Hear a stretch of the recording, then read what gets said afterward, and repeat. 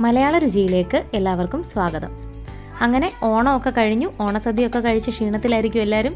ഇന്ന് നമുക്കൊരു ചമ്മന്തിപ്പൊടി തയ്യാറാക്കിയാലോ?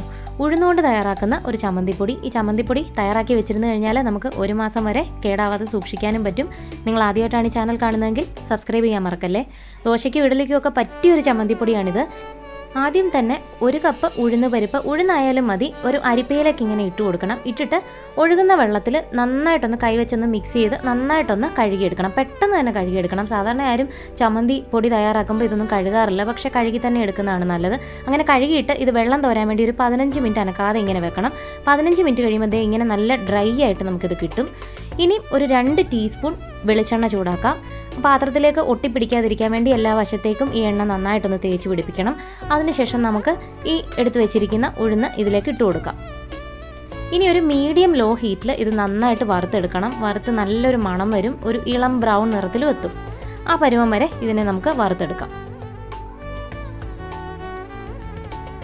ഈ ഒരു നിറത്തിലാണ് നമ്മുടെ ഉഴുന്നെത്തേണ്ടത് ഈ നിറമാകുമ്പോൾ നമുക്ക് തീ അങ്ങ് ഓഫ് ചെയ്യാം. തീ ഓഫ് ചെയ്തതിന് ശേഷം ഇതിലേക്ക് ഒരു ടേബിൾ സ്പൂൺ കാശ്മീരി മുളക് പൊടി നല്ല എരിവ് വേണമെന്നുണ്ടെങ്കിൽ സാധാരണ മുളക് പൊടി വേണമെങ്കിലും ചേർക്കാം. പിന്നെ ഇതിലേക്ക് ചേർത്ത് കൊടുക്കേണ്ടത് ഒരു ടീസ്പൂൺ ഉപ്പാണ്. ഇത് കറക്റ്റ് പരുവായിരിക്കും പക്ഷെ കൂടുതൽ ഉപ്പ് വേണ്ടവർക്ക് കൂടുതൽ ചേർക്കാം. പിന്നെ വേണ്ടത് ഒരു അര ടീസ്പൂൺ കായപ്പൊടി. ആ ചൂടോട് കൂടി തന്നെ ഇതൊന്ന് ഇളക്കി കൊടുക്കാം.